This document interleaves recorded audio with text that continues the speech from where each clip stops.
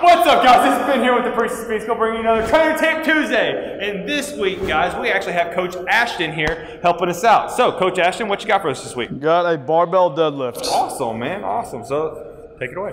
All right, guys. So, how to do a barbell deadlift, okay? Main thing I always hit on, okay? Really want to make sure you are just in perfect position overall, okay? So, there's actually two ways to do this. Traditional feet are just shoulder width apart, or sumo, where you get a kid to get that wide sumo stance, okay? I always tend to do it like this, okay? So, what I'm to do, I'm to grab it. on first things first, make sure that bar is against my shins, okay?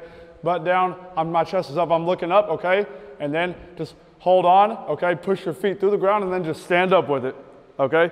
Lock your legs out, pull your shoulders back, and then put it back down. That's one, okay? And also really want to make sure butt down, chest up, okay? Really want to make sure you have that strong lower back, okay? All right, guys, and just want to point this out. This is not that heavy. I'm a lot stronger than that, okay? So don't judge me. Other than that, that's all I got. You all have a great week.